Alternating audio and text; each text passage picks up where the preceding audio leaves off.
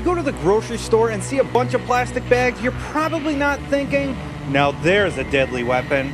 Well, in Manhunt, they dare ask the question paper, plastic, or death.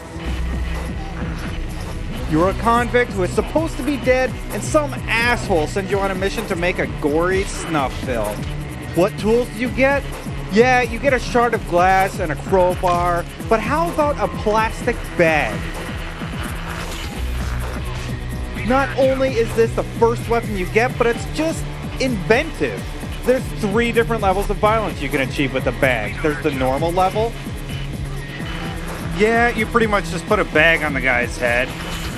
The yellow level, which combines the bag and a knee to the face a few times. And the red level, which is the most brutal. Oh my god, that guy's face got pummeled.